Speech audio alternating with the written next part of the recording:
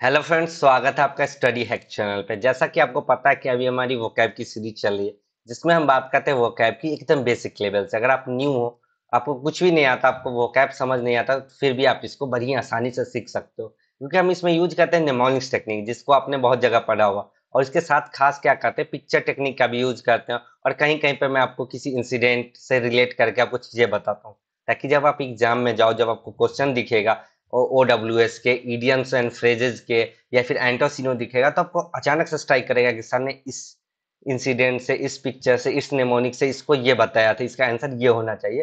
तो आपकी चीज़ें गलत नहीं होगी, आप आसानी से आंसर कर पाओगे और अपने नंबर को सिक्योर कर लोगे, ठीक है? तो अभी तक हमारी इकतीस क्लास हो चुकी है, अगर आप अभी न्यू हो तो आप प्रीवियस क्लासेस ज़रूर देखें। और आज हमारा एपिसोड थर्टी टू है, आप यूँ कह सकते हो कि हमारा क्लास थर्टी टू है, ठीक है? तो हम इसका प्रैक्टिस भी करते हैं। जो पढ़ते हैं वो कैप तो उसका प्रैक्टिस भी ज़रूरी है। तो प्रैक्टिस हम किससे करते हैं? प्रीवियस ईयर क्वेश्चन से, ताकि आपको प्रीवियस ईयर क्वेश्चन अलग से तैयार करने की कोई भी ज़रूरत ना पड़े, ठीक है? और हमारी ये क्लास डेली 5 पीएम पे होती है मंडे टू फ्राइडे और सैटरडे स्पेशल क्लास होती है, जो आप कमेंट में करते हो, जिस भी टॉपिक पे मैं उस पर क्लास लाता हूँ, ठीक है? और सिर्फ़ वोकैब ही नहीं इंग्लिश ग्रामर भी बहुत इंपॉर्टेंट होता है इंग्लिश के लिए, किसी भी एग्ज़ाम के लिए। तो मैं उसको भी डिस्कस करता हूँ, अपने क्लास के बीच में एक पार्ट रखता हूँ, ठीक है, जहाँ पे इंपॉर्टेंट इंग्लिश के ग्रामर रूल्स डिस्कस करता हूँ। तो बने रहिए हमारे क्लास के साथ शुरू से लास्ट तक और जानिए कि कौन से रूल्स डिस्कस होंगे। हमने काफ़ी रूल्स डिस्कस कर लिए जो कि एग्ज़ाम में एज इट इज़ पूछे जाते हैं, ठीक है? तो चलिए बिना देरी के क्लास को शुरू करते हैं। तो जैसा कि आप हमारे क्लास के साथ जुड़े होंगे तो आपको पता होगा कि हम डेली क्या करते हैं लास्ट में एक क्वेश्चन आंसर सेशन होता है, जहाँ पे मैं आपको होमवर्क भी देता हूँ, ठीक है? क्वेश्चन आंसर सेशन के बाद। तो आपको होमवर्क के आंसर करने पड़ते हैं। तो अगर आप आंसर कर पाते हो एक लिमिटेड टाइम फ्रेम में तो मैं आपके कमेंट अगले दिन इंक्लूड करता हूँ, ठीक है? तो लास्ट क्लास होमवर्क का आंसर दिया है अंजलि ने, ठीक है? इन्होंने एकदम सही आंसर दिया है, ठीक है? और मैं इस वर्ड को आगे डिस्कस करूँगा। मैं ये करता हूँ, जो भी होमवर्क देता हूँ, उसको अगले दिन इंक्लूड कर लेता हूँ, ताकि बड़ी आसानी से और इजी वे में आपको समझा सकूँ, ठीक है? इसका जी को क्लास अच्छी लगती है तो क्लास अच्छी लगती है तो आप अपने दोस्तों में शेयर करें, उन बच्चों के साथ शेयर करें, जिन्हें वो कैब की ज़रूरत है, जो वो कैब पढ़ना चाहते हैं कम समय में और प्रैक्टिस भी करना चाहते हैं और साथ साथ ग्रामर के रूल्स भी डिस्कस करना चाहते हैं ओके तो चलिए जानते हैं आज का पहला वर्ड तो आज का जो पहला वर्ड है, वो है सीटाडेल ठीक है? सीटाडेल मतलब होता है गढ़, ठीक है?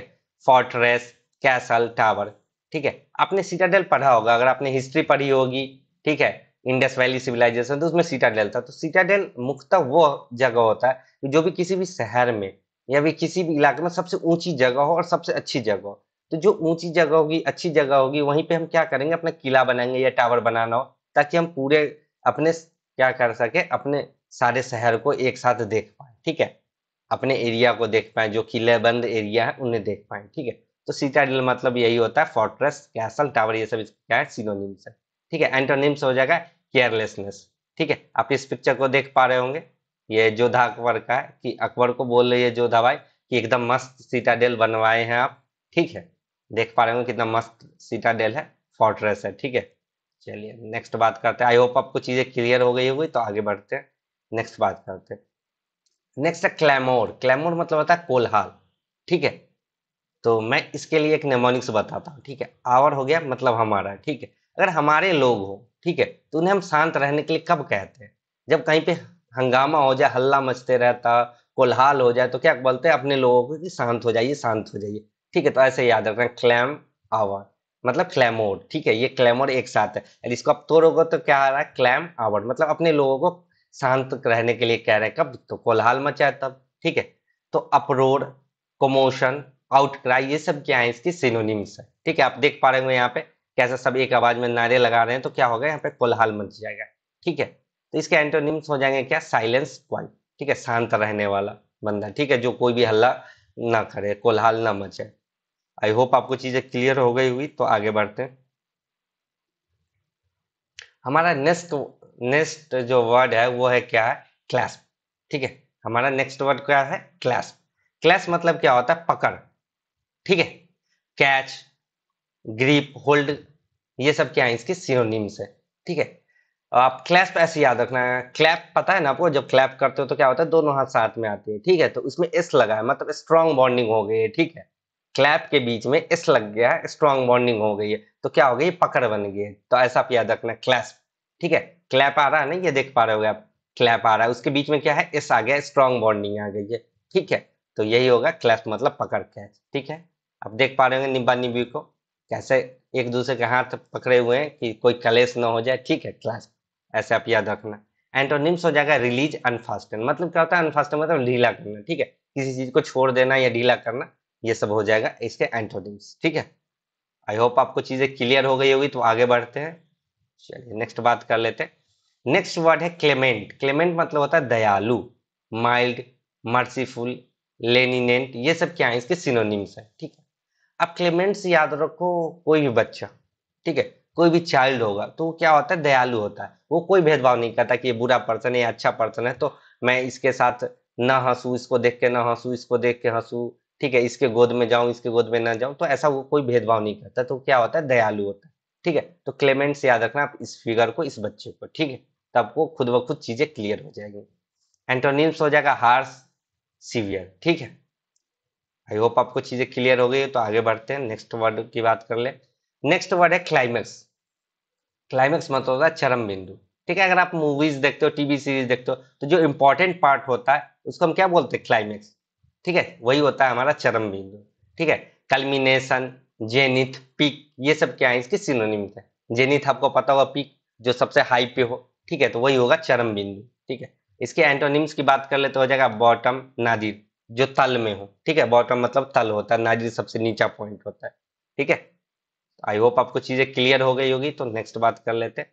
जैसा कि आपको पता है कि नेक्स्ट हमारा ओ का सेशन होता है वन वर्ड सब्सिट्यूशन का, ठीक है? तो इसमें जो आज का ओ है, वो है बायोग्राफी ठीक है? बायोग्राफी मतलब होता है जीवनी।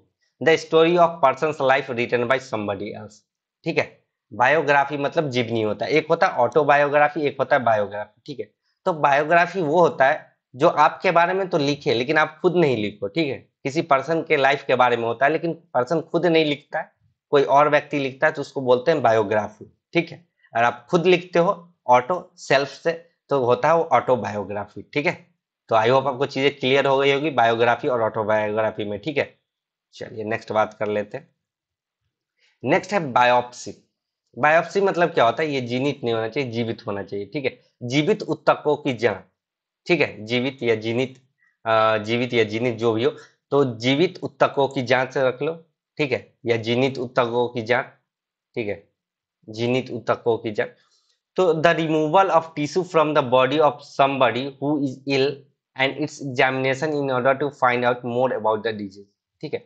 अगर कोई भी व्यक्ति है, ठीक है, अगर वो बीमार है तो उसके बॉडी में से टिश्यू की हम जाँच करते हैं, ठीक है। टिश्यू को या तो रिमूव करते हैं ठीक है? या फिर उसकी जाँच करते हैं और बीमारी का कारण पता करते हैं कि आखिर ये डिज़ीज़ इसे हुई कैसे, ठीक है? इसका इलाज क्या होगा, ठीक है? उसको एग्जामिन करते हैं। तो वही होता है बायोप्सी जीवित उत्तकों की जाँच या जीनित उत्तकों की जाँच, ठीक है?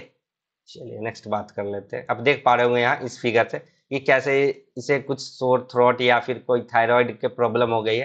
तो इसके यहाँ से क्या कर रहा है? टिश्यू निकाल रहा है ठीक है?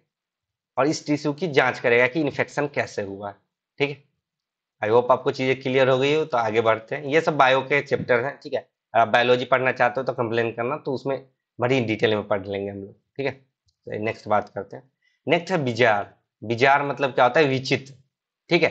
वेरी स्ट्रेंज और अनयूजबल ठीक है? आप इसको देख पा रहे हैं इसका ड्रेस देखो, कैसा है? बहुत ही अजीब, ठीक है? तो बिजार ड्रेस और ये लड़की खुद देखने में, लड़की है या लड़का, बड़ी अजीब लग रही है, बड़ी कंफ्यूजन है, ठीक है? तो यही है बिजार मतलब विचित्र। ठीक है। आई होप आपको चीज़ें क्लियर हो गई हो तो आगे बात करते हैं। नेक्स्ट है ब्लास्फेमी ब्लास्फेमी मतलब होता है ईश्वर की निंदा करना। Words uttered impiously about God मतलब ऐसा वर्ड जो कि गॉड के बारे में बुरा हो या उसकी निंदा कर रहा हो, ठीक है तो उसी को बोलते हैं ब्लास्फेमी ठीक है act of speaking irreverently about sacred thing या फिर कोई भी पवित्र चीज़ है, उसके बारे में गलत गलत बोलना, यही कहलाता है ब्लास्फेमी ठीक है? तो ब्लास्फेमी आपको पता चल गया कि ईश्वर की निंदा करना, ठीक है? देख पा रहे इसके मुँह पे टेप लगा दिया, क्योंकि ये हो सकता है ईश्वर के बारे में कुछ गलत गलत कहता होगा, ठीक है? तो जो धर्म के प्रचारक होंगे, उन्होंने इसे, इसके मुँह पे टेप लगा दिया है, क्योंकि ये ईश्वर की निंदा करता है, ठीक है? तो ब्लास्फेमी ठीक है? सिनोनिम्स हो जाएगा सैक्रिलेज प्रोफेनिटी ठीक है? आई होप आपको चीज़ें क्लियर हो गई होगी तो आगे बढ़ते हैं। नेक्स्ट है बोर बोर मतलब क्या? है डच या डच वंशीय ठीक है। तो आप ऐसे याद रखना कि कोई डच या डच वाली भाषा में साउथ अफ्रीकन भाषा में बोलेगा तो आपको चीज़ें समझ नहीं आएगी तो क्या हो जाओगे? आप बोर हो जाओगे, ठीक है? तो बोर मतलब ठीक है, वो होता है बी ओ आर ई ठीक है? और ये हो जाएगा बो बी ओ आर बोर ठीक है? A person of South African Dutch descent ठीक है? ऐसा व्यक्ति जो साउथ अफ्रीका से बिलोंग करता है डच के वंश के होंगे, उन्हें बोलते हैं बोर देख पा रहे होंगे आप इन्हें पिक्चर से। ये सब डच के वंश है, वंशज है, ठीक है? चलिए नेक्स्ट बात करते हैं। नेक्स्ट जैसा कि आपको पता है ईडियम एंड फ्रेजेज के सेशन आता है, ठीक है? तो आज का पहला ईडियम है एट डैगर्स ड्रॉन और यही मैंने आपको होमवर्क भी दिया था, ठीक है? और ये पिक्चर भी आपको इंक्लूड किया था। तो एट डैगर्स ड्रॉन मतलब क्या होता है? दुश्मनी, ठीक है? इनिमीज हॉस्टाइल ये सब क्या होती है? इसके मतलब होती है, ठीक है? और कोई आपको क्या करे, चाकू की नोक पे कोई भी चीज़ करवाए, ठीक है? तो क्या होगा, आपसे दुश्मनी है, तभी तो आपको वो चाकू दिखा रहा है, ठीक है? डैगर खंजर दिखा रहा है। डैगर मतलब खंजर होता है, ठीक है? आई होप आपको चीज़ें क्लियर हो गई होगी तो आगे बढ़ते हैं। आप देख पा रहे होंगे खंजर कैसा होता है। नेक्स्ट बात कर लेते हैं। नेक्स्ट है एट इच अदर्स थ्रोट ठीक है? आप किसी के गले पे एक दूसरे के गले तक पहुँचा रहे हो, देख पा रहे हो यहाँ पे हाथ पहुँचा रहे हो। मतलब क्या कि आप गुस्से में बहस कर रहे हो। आप इतने गुस्से में हो गए बहस करते करते कि एक दूसरे का गला पकड़ रहे हो, ठीक है? तो इसी को बोलते हैं एट इच अदर्स थ्रोट ठीक है? आर्ग्यूइंग एंग्रली मतलब क्या है कि गुस्से में बहस करना। जब आप बहुत गुस्से में हो तो तब आर्गू करते हो तो क्या बोलते हैं उसको? अगर किसी का गला पकड़ लो तो क्या बोलते हैं? H at each other's throat ठीक है? एक दूसरे के थ्रोट के पास हो, ठीक है? आई होप आपको चीज़ें क्लियर हो गई होगी। आप पिक्चर से क्लियर कर सकते हो। तो आगे बढ़ते हैं। नेक्स्ट बात कर लेते हैं। नेक्स्ट है एट लार्ज मतलब क्या है? भागा हुआ अपराधी। ठीक है? एट लार्ज मतलब अगर मान लो कि किसी पे बहुत ज़्यादा इनाम हो, ठीक है? मान लो कि किसी पे बहुत ज़्यादा एक हज़ार डॉलर का इनाम हो तो वो क्या होगा? कैसा क्रिमिनल होगा? वो भाग गया होगा क्रिमिनल ठीक है? बहुत ही बुरा क्रिमिनल होगा जो भाग गया होगा। उसी पे तो इनाम रखते हैं ना कि जो जेल तोड़ के भाग जाता है क्रिमिनल तो या फिर जो बच जाता है क्रिमिनल भाग जाता है अरेस्ट होने से तो उस पर हम इनाम रख देते हैं, ठीक है? तो लार्ज से याद रखो, बहुत ज़्यादा, क्या है बहुत ज़्यादा तो इनाम है। एट लार्ज मतलब क्या होगा? भागा हुआ अपराधी अ क्रिमिनल स्केप और नॉट येट कैप्चर ऐसा क्रिमिनल जो भाग गया हो, या अभी तक पकड़ा ना गया हो, उसी को बोलते हैं एट लार्ज ठीक है? लार्ज से याद रखो कि बहुत ह्यूज अमाउंट पे उस पर बाउंटी है, ठीक है? तो मतलब क्या वो क्रिमिनल भागा हुआ है, या अभी तक कैप्चर नहीं हुआ ठीक है? आई होप आपको चीज़ें क्लियर हो गई होगी तो आगे बढ़ते हैं। नेक्स्ट है एट लॉगर्स हेड मतलब क्या है? असहमति के कारण हिंसक विवाद, ठीक है? In conflict with someone to disagree strongly ठीक है? एट लॉगर्स हेड का मतलब है कि आपका किसी से विवाद हो जाए, ठीक है? इस मुद्दे पे अगर आप उससे सहमत नहीं हो, आप कोई वो चीज़ बता रहा है, लेकिन आप उससे सहमत नहीं हो तो आपका उससे विवाद हो जाएगा। और विवाद इतना ज़्यादा होगा कि वो बहुत ही हिंसक रूप ले ले तो उसी को बोलते हैं एट लॉगर्स हेड ठीक है? ठीक है?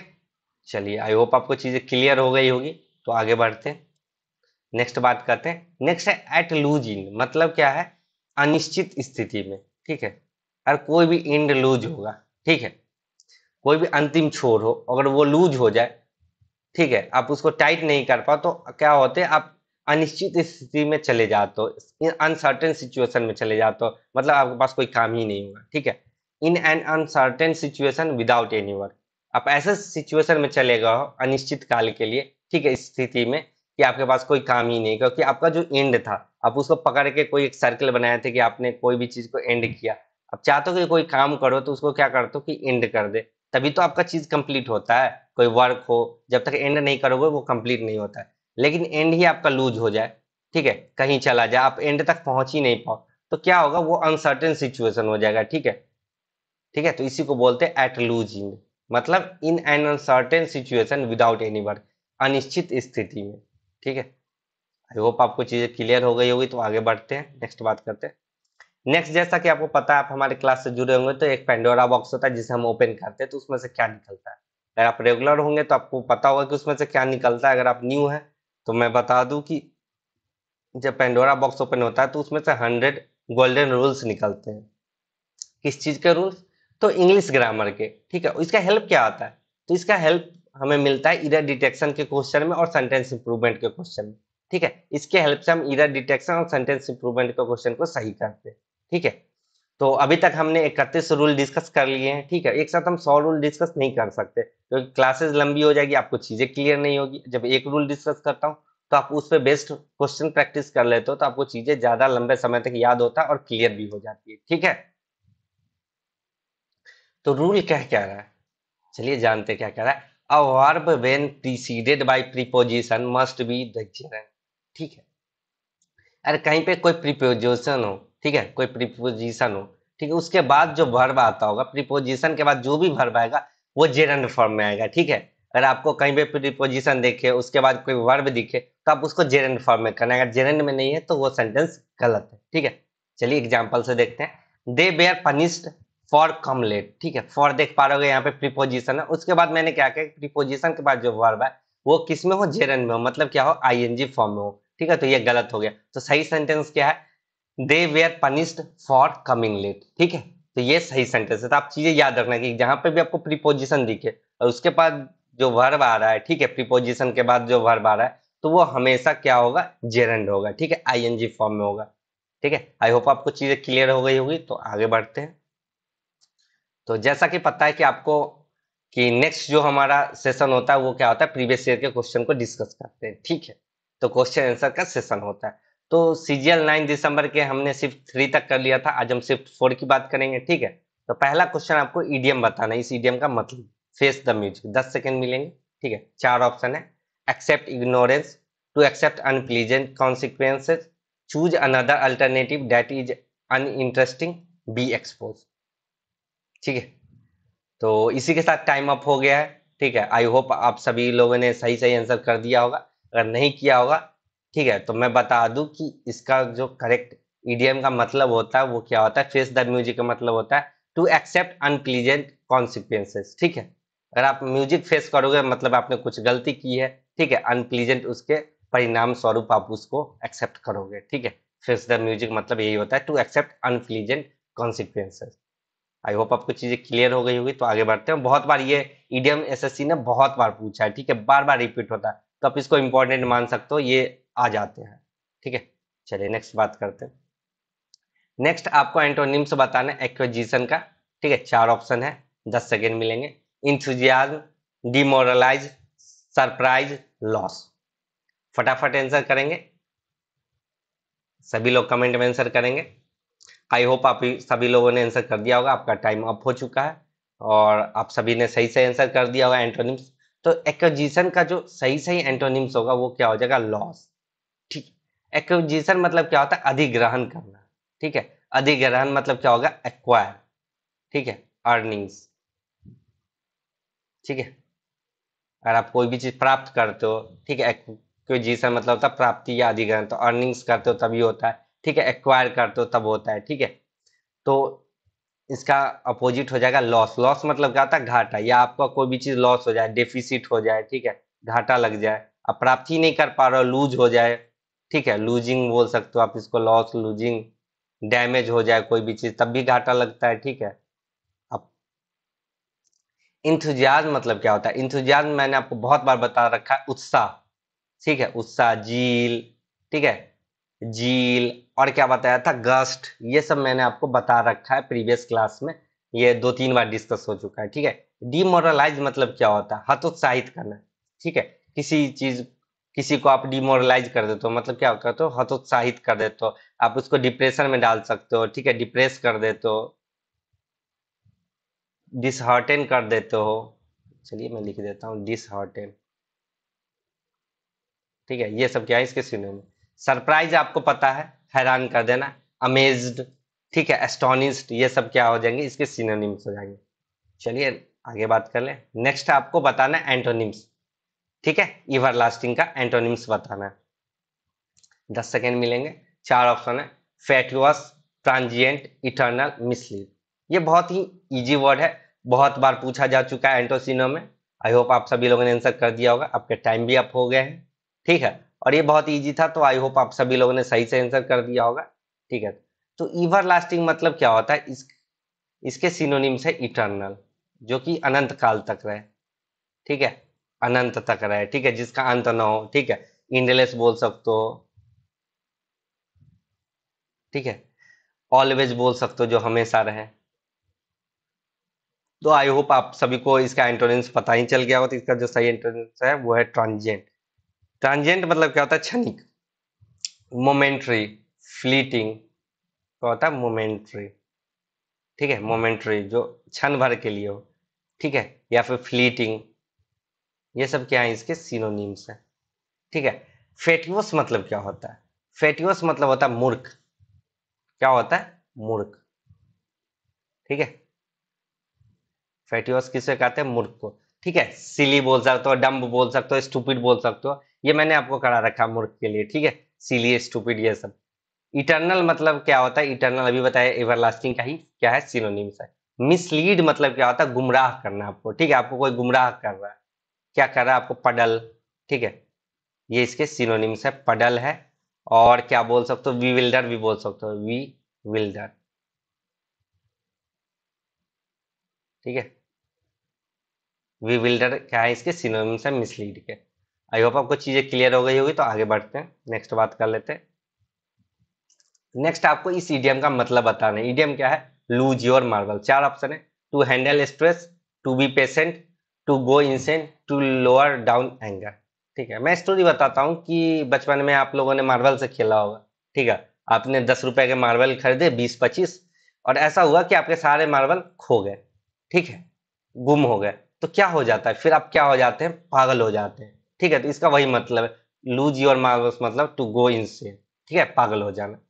ठीक है, उसका दिमाग फिर जाता है कि मैंने अभी अभी मम्मी से पैसा लिया था कुछ काम के लिए, उसके मार्बल्स खरीद लिया, और हमारे मार्बल्स भी खो गए। तो क्या हो जाएगा? पागल हो जाते हैं लोग। ठीक है? चलिए नेक्स्ट बात कर लेते हैं। नेक्स्ट आपको वन वर्ड सब्सिट्यूट बताना है इस ग्रुप ऑफ़ वर्ड के लिए। ठीक है? पहले मैं वर्ड्स पढ़ लेता हूँ, फिर आपको टाइम दूँगा। वन हु लव्स ह्यूमिनिटी और बिलीव्स इन यूनिवर्सल ब्रदरहुड ठीक है? चलिए, आपको 10 सेकेंड मिलते हैं इसके लिए। Misanthropist humane magnanimous philanthropist ठीक है? आई होप आप सभी लोगों ने आंसर कर दिया होगा। बहुत ईजी है। ये बहुत बार पूछा जा चुका है। आपने बहुत बार देखा होगा एसएससी में ये ओडब्ल्यूएस बहुत बार आया है, ठीक है? हर बार ये रिपीट होता जाता है तो ये इंपॉर्टेंट है। तो आई होप आप सभी लोगों का आंसर सही होगा। तो इसका जो सही आंसर है, ठीक है, वो है फिलेंथ्रोपिस्ट ठीक है? बाकी ये जो मैग्नेनिमस ह्यूमेन मिस एंथ्रोपिस्ट है, ये सब मैं आगे क्लास में करवाऊँगा जब एम सीरीज़ आएगी, ठीक है? तो आप तब तक धैर्य बना के रखें, ठीक है? चलिए, आगे बात कर लेते हैं नेक्स्ट क्वेश्चन की। तो नेक्स्ट आपको सिनोनिम्स बताना है वुड विंग्ड का, ठीक है? चार ऑप्शन है कोर्स्ड डिसीव्ड थ्रेटेंड मिसगाइडेड ठीक है? फटाफट आंसर कीजिएगा। हो सकता है आपके लिए नया वर्ड हो तो आप एलिमिनेशन टेक्निक यूज़ कर सकते हो एलिमिनेशन मेथड कर पाओ तो कर लो वेल एंड गुड ठीक है? आई होप आप सभी लोगों ने आंसर कर दिया होगा और आपका टाइम भी अप हो चुका है, ठीक है? तो हुड विंग्ड का जो सही सिनोनिम्स है, वो क्या हो जाएगा? डिसीव्ड हुड विंग मतलब क्या होता है? धोखा देना, ठीक है? तो इसका सिनोनिम्स हो जाएगा डिसीव्ड आप इसको बोल सकते हो स्पूफ ठीक है? स्पूफ मतलब जाली होता है। जाली चीज़ अगर आप किसी को दिखाओगे, ठीक है? जो ओरिजिनल कंटेंट ना हो तो क्या होगा? धोखा देना ही होगा, ठीक है? और आप क्या बोल सकते हो? डूडल ठीक है? ये सब क्या है? इसके सिनोनिम्स कोर्स्ड मतलब क्या होता है? ठीक है? कोर्स मतलब होता है मजबूर.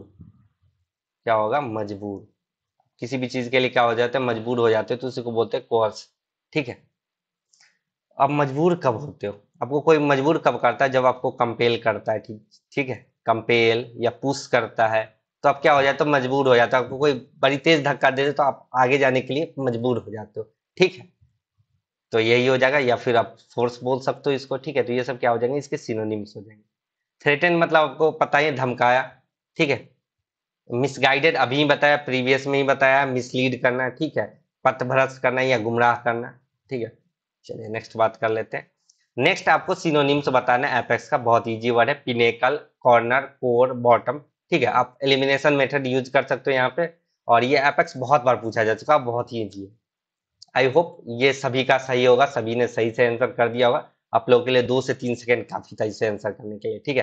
तो एपेक्स मतलब क्या होता है? चोटी, शिखर, ठीक है, समीट। ठीक है तो क्या हो जाएगा इसका सिनोनिम्स पिनेकल आप इसको बोल सकते हो समीट। ठीक है? पीक बोल सकते हो, ठीक है? और टॉप बोल सकते हो, और टिप बोल सकते हो, ठीक है? और क्या बोल सकते हो? ब्रेड बोल सकते हो। कॉर्नर मतलब आपको पोता पता है कॉर्नर मतलब क्या होता है? कोना। ठीक है? एज बोल सकते हो, किनारा होता है, ठीक है? एंगल बोल सकते हो। चलिए। कोर आपको पता है। कोर मतलब क्या होता है? मुख्य। जो आंतरिक भाग होता है, वही कोर होता है। आप इसको बोल सकते हो, जहाँ से ओरिजिन कोई भी चीज़ होता है, वही कोर होता है ओरिजिन ठीक है? और क्या बोल सकते हो आप?